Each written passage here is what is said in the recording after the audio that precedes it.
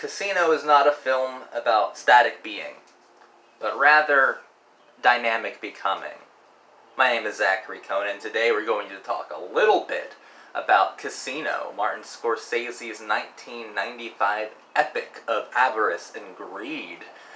Uh, starring Robert De Niro, Sharon Stone, Joe Pesci, Don Rickles, Kevin Pollak, and James Woods, just to name a few. This movie disgusted me when I was a kid. It completely disturbed me. And it took me a very long time to figure out where that disgust and repulsion really came from. And honestly, it came from this. It's very easy to compare this film to Goodfellas. Uh, a bare five years had passed since Goodfellas making. And of course, De Niro and Pesci play characters that at least share a few similarities with the ones they portrayed in Goodfellas. The film goes through the same sort of kinetic, uh, wild acrobatics that Goodfellas did. It deals with the same sort of subject matter, and both are films of great length. Now, the main separator, the main thing that differentiates Casino from Goodfellas is also what makes it so disturbing and so disgusting for me, personally. It's a deeply confrontational film, a challenging film, and I think a film that is far more sophisticated and daring than Goodfellas was. And it really comes down to this. The characters in Goodfellas, all things considered, are rather likable. They are likable people with strong themes of family and friendship and loyalty. Now, if those themes are there in Casino, they are inverted completely, and every character is extremely, extremely unlikable, even Robert De Niro's Ace Rothstein. They are incredibly unlikable, each and every one. Scorsese is telling us a a fable about avarice and about greed and about lust, about betrayal, about murder and ultra violence. And he's telling it to us in, in a kind of a completely stylistically honest way by having absolutely nothing likable to use as an anchor for emotionality. If you choose De Niro as your emotional anchor through this uh, torrent of violence, then you will come away from it completely disgusted with yourself because you have identified with someone who is like incredibly paranoid, incredibly violent, incredibly impotent. Now, Casino is incredibly it's incredibly put together, and it's about the impotence of all things masculinity. Um, you have to look just beyond the idea of bearing children. It's about the impotence of money, the impotence of your position within your own company, the impotence of friendship, the impotence of being a lover, of being a satisfying lover, of ever having been a satisfying lover. It's all about male impotence. And Casino takes its sweet time, three hours worth of time, truly getting into a place where it could study male impotence, where it could study uh, male humiliation, where it could study the ultra-violent conclusions of such delusions of grandeur, right? Mm. I think that Casino is phenomenal an absolute bedlam of visual acrobatics, as I was saying. It's a sweepingly put together film. It is um, so precise and also just so deliberately isolated uh, emotionally. Like I said, there's no likable anchor. It's so deliberately isolated. It doesn't want you to relate to it, yet Scorsese, I think, has just enough of a cynical view of humanity that he knows that you're going to. He knows that you're going to relate to it regardless, in spite of your better nature. And the house always wins. Casino is more so about, uh, you know, America's Sodom in a way. I mean, that, that that's incredibly obvious. But if we, on this channel, I always say that every Martin Scorsese film, the secret to every single one, is that they're all secretly films about God, sometimes not so secretly. Casino is certainly a film about God, and one of Scorsese's trademarks is his use of slow motion. Now, when he uses slow-mo, he slows down a specific instance of time, a specific moment, to kind of counterintuitively express and demonstrate the impermanence of time, the impermanence of that moment, or maybe even express the inevitable doom that we could see cinematically. But also, when you make a moment cinematic, when you slow it down, as through slow motion, and you make it more cinematic, by proxy of doing that, you are also making it more holy. So these moments have to be viewed as holy moments, as something within the scope of divinity. In Casino, slow-mo is used very, very often. And Casino, if we're looking at it as a sort of purgatory, or as a Sodom, as a Gomorrah, as a completely doomed and uh, com com completely sinful city, then it's very easy to pick up on where God is in Casino. God is everywhere but Las Vegas. There is retribution in this film. There is revenge. There is punishment. There, people get what they deserve in this film in a uh, extremely nihilistic sort of way. God is not in Casino. God permeates everything around Casino. God is not in Las Vegas. God is not with us when we are incredibly impotent, when, when we are operating on that primal base urge of absolute greed. God is not with us when we are just thinking about um, about, about women that we want to experience viscerally, about uh, money that we want to just attain superficially, about the most selfish quests of masculinity. God is not there when we are on those self-destructive paths.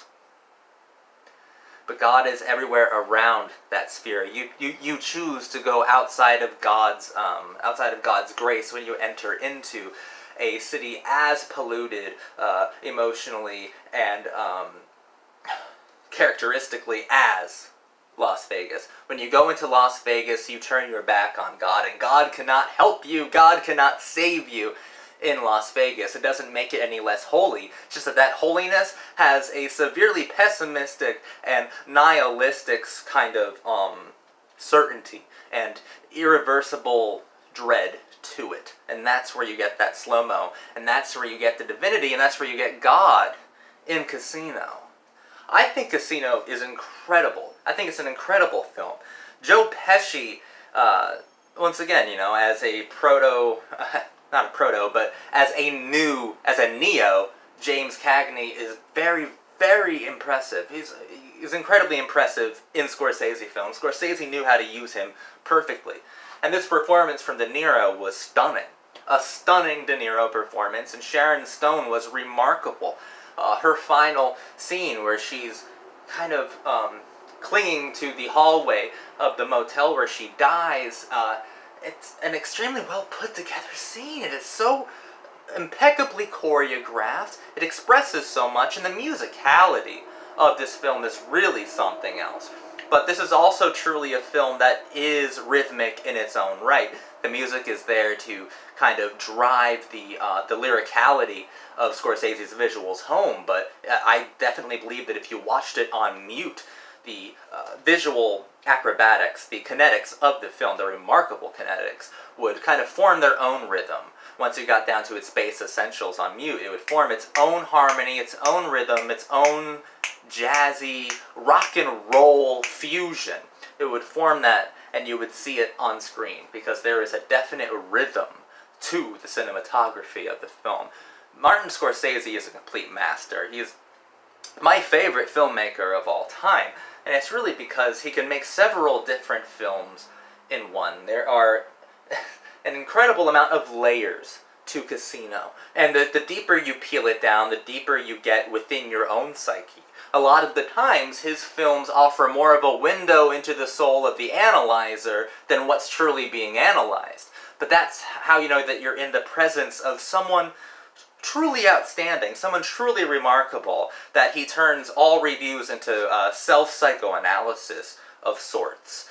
Uh, Casino, I can't help but watch it and think of my own shortcomings or my own ideals uh, or ideations of masculine worth, masculine value inside of this um, city. That is really the totality and expression of masculine virtue, of masculine um, conquest, uh, you know, of, of masculine detriment, of masculine um, outrage and apocalypse. That's really what the city is. The city was built out of greed, out of avarice, specifically masculine greed and masculine um, avarice. And the women who are attracted to that city, the, the hustlers like Sharon Stone's character, are exactly the type of uh, women that these uh, emotionally impotent men deserve.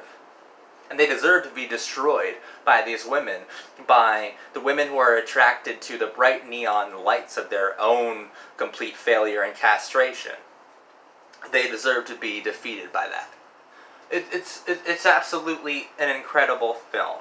Um, I'm completely in awe of it. It is challenging and, and sophisticated and it's confrontational because, like I said, these characters are not likable, but these characters are almost more truthful than the ones portrayed in Goodfellas, the ones portrayed in, in Scorsese's earlier crime masterpieces, because these characters um, have a very sad, but I think tender, palpable, visceral realism to them, even if you don't want to admit it.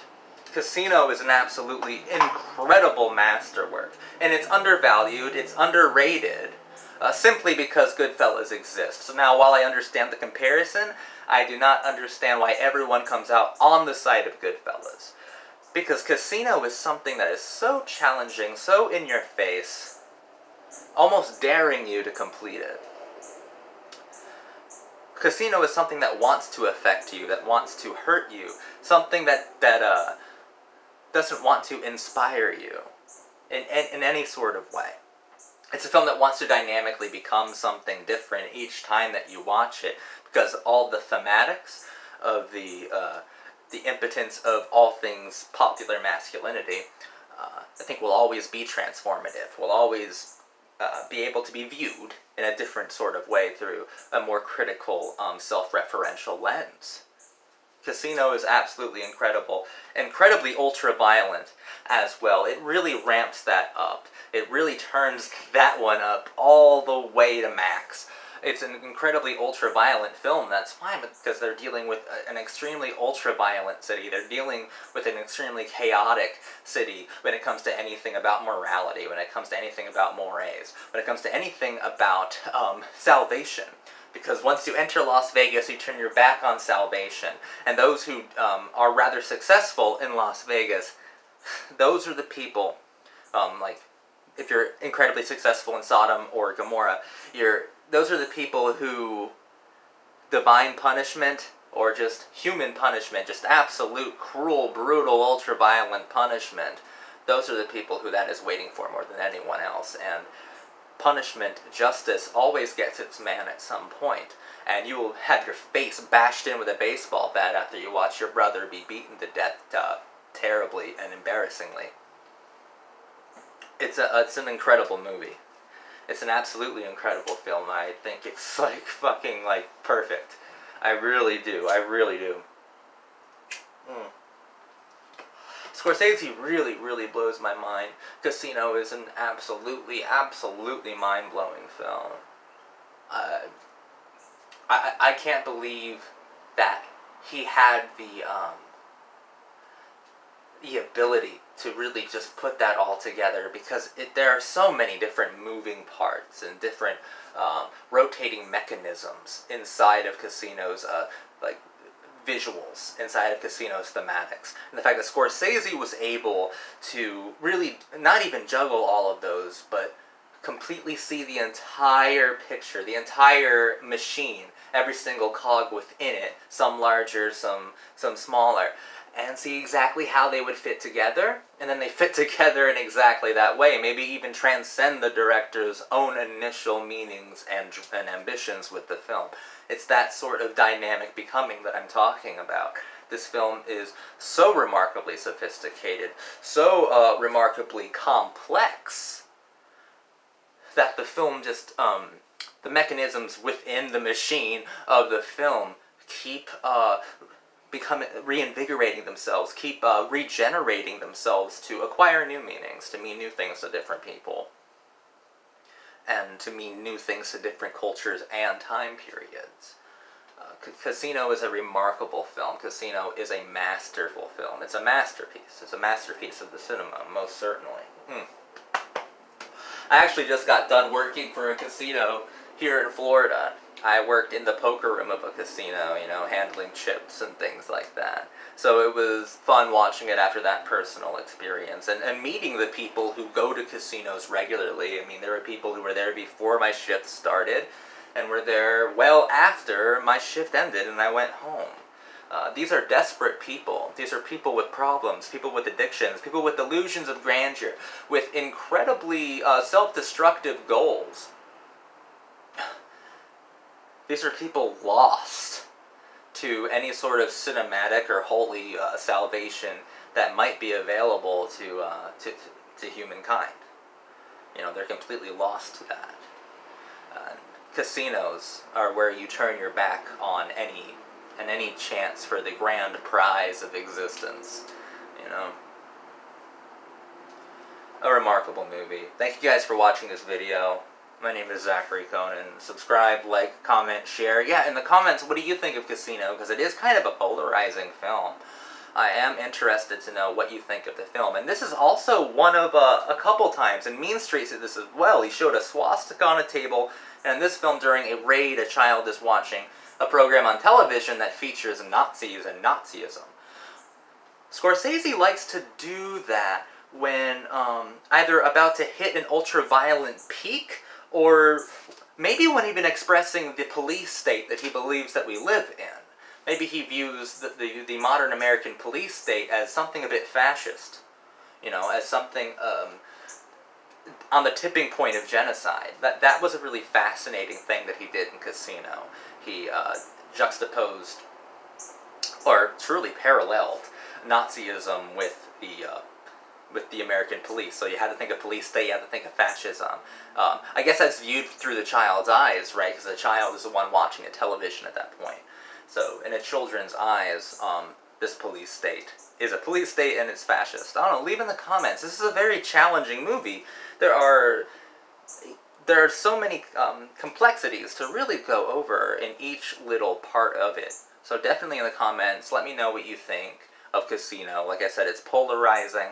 A lot of people like to really skip over it or just mention it very briefly, where I think um, it deserves a magnifying glass. It, it deserves to be explored, investigated, and completely dissected. What do you think of Casino? Let me know in the comments.